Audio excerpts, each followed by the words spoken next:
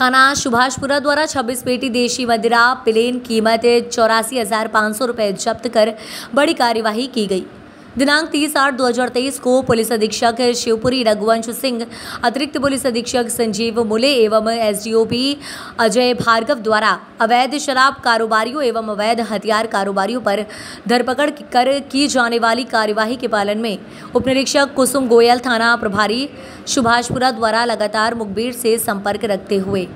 गुनाया road, थाना सुभाषपुरा पर वाहन क्रमांक एम पी ज़ीरो सात सी ए अड़तालीस इकहत्तर स्ट्रेली रंग की कार में आरोपी ब्रजेश शिवहरे, पुत्र सालिकराम शिवहरे, उम्र 36 साल, निवासी एसडीएम पब्लिक स्कूल, शिवपुरी हाल निवासी ए ब्लॉक आनंद नगर थाना बाहोड़ापुर जिला ग्वालियर की पुलिस को देखकर जंगल की तरफ़ भाग गया, जिसे घेराबंदी कर पकड़ा।